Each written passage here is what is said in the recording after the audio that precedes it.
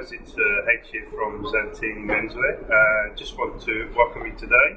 Um, today's video is a, a, special one. I have uh, a good friend of mine, Cosimina, who's an image consultant. Uh, good day, Cosimina. Um, today's video uh, is about uh, what sort of wardrobe you should have uh, when you're starting your first job. we get a lot of frustrated young guys coming in here, what colours to wear, what, what outfits we should, should we have. So Cosimina and I are going to help you out here and uh, and uh, try and point you in the right direction. Um, good day, Cosimina. Um, first of all, the first biggest question I get asked is uh, what kind of suit? Yep, it's really important when you're starting off as a graduate to build a wardrobe that will all go together. Um, you've got enough expenses when you're starting off. That's so true. start off with the basic wardrobe and then eventually build up on it. My recommendation would be a plain suit, Yep. uh, charcoal grey, for example. Stick with the basic slim cut um, two button suit, and then we can add to that and build on that. Okay. Great thing with it as well is if you can get a suit with two pairs of trousers, Perfect. yes. because that way you can wear trousers with and without the jacket, and Okay. it'll last longer. And you're building up wardrobe. You've got five days or four days a week that you need to create a look or an image that's important for you. So we need to generally just build it up eventually, and then add to it.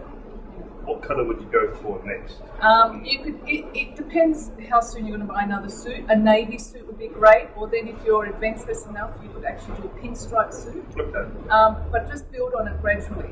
Um, a charcoal suit will get you through summer and winter, and Australian suits are fairly lightweight, pure Yes, wool. okay. So it really doesn't matter. It'll get you through the winter period as long as you wear a scarf with it and so forth. Great. Add to add to the accessories, and it'll get you through. Brilliant. Um, what colour shirt should we go for? Okay, so I would start off with at least four or five shirts, a minimum of four, possibly five shirts. The basics would be white. You always have to have a pure white uh, shirt.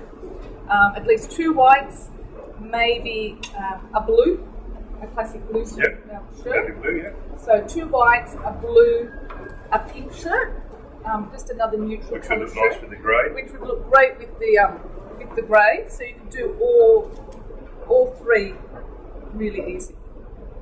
Um, if you're going to do five shirts, then add a bit of um, variety. You might do a striped shirt.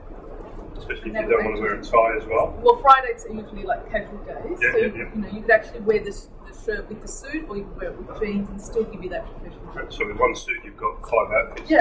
there, So really, yeah, two. You've actually got more. You've got two pairs of trousers and five shirts. So that's ten days. Yes. So you've got two weeks worth of clothes there. There you go. So that's, Um, that's a good and to start off, that's a really good idea. Then the way to add character to it is by adding um, different ties, different colour ties. We all need the classic uh, red tie, authoritarian tie. That'll look great with that.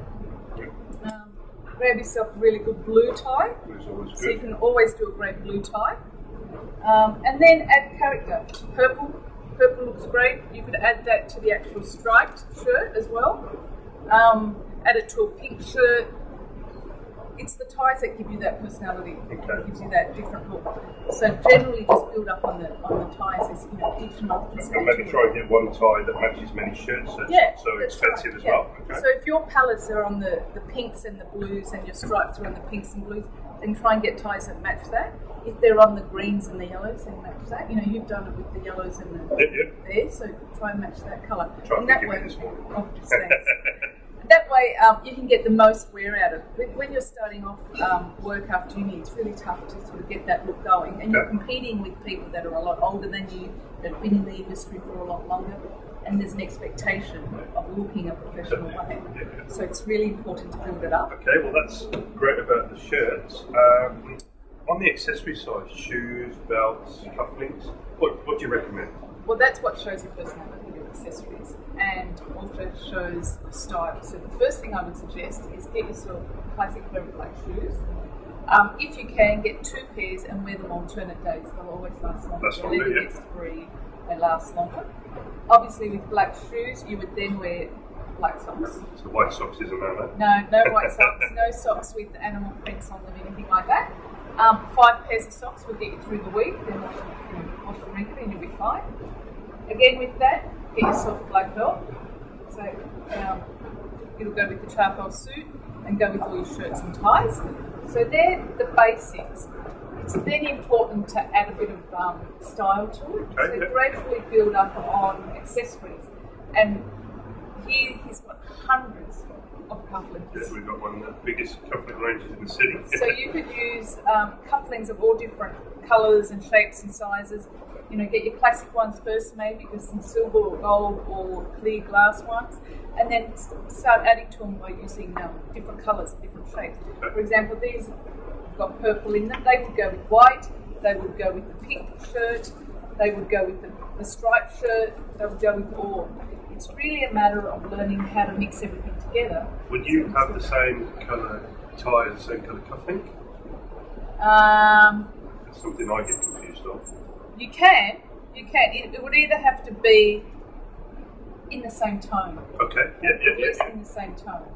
Um, I mean, for what you're wearing, for example, today, Yeah. have you got cufflinks on? I have. I've got my H's on today. Have you got H's on right? He's got, oh, okay. So he's gone for the basic silver. Yeah. So with what you're wearing, you could actually have anything with a bit of grey on it as well. Because Okay, it'll okay. throw the, the grey Okay, in the all right. So tie. it's a handy tip. And it'll just add a little bit more um, oomph or class to it. Okay. Um, or you could go, you know, go yellow again, but Because I've got the yellow shirt on. The Okay. shirt on. Yeah. Um, one last question. How often do you dry clean a suit? Um, considering you're wearing it every single day, Yeah. okay, you may not be wearing the jacket all day, but you're carrying it to and from work. You know, you've got it at the back of a chair in an office. Your trousers, you've got two pairs. You should always get a suit with two pairs of trousers. Yeah. I would at least dry clean it once a month Okay. and dry clean everything all together. If you dry clean the trousers without the jacket or vice versa, the colours will eventually um, fade and you'll see the difference. Okay. So um, dry clean it all together at least once a month, and then in between on weekends, throw it back at your um, door in the bathroom. When you're in the shower. When having a shower, the steam will just get to it and just iron it nicely that way. Get rid of all the smells, air it out, and you'll be fine. Thank you, Cosimina, for all those little handy tips. Thank you for having me. Um, I hope you guys all found that uh, really helpful. Um, we've got a little offer on for uh, all those uh, people just starting out in the office environment or you want to build your first wardrobe. Reply back to this email, get in touch, and all the little outfits that we talked about today. Um, we've got a bit of a style consulting going on here at the store. So, first 10 people that get in touch, uh, we'll offer you this package, and uh, we hope to hear from you soon. Thank you. Thanks. Bye.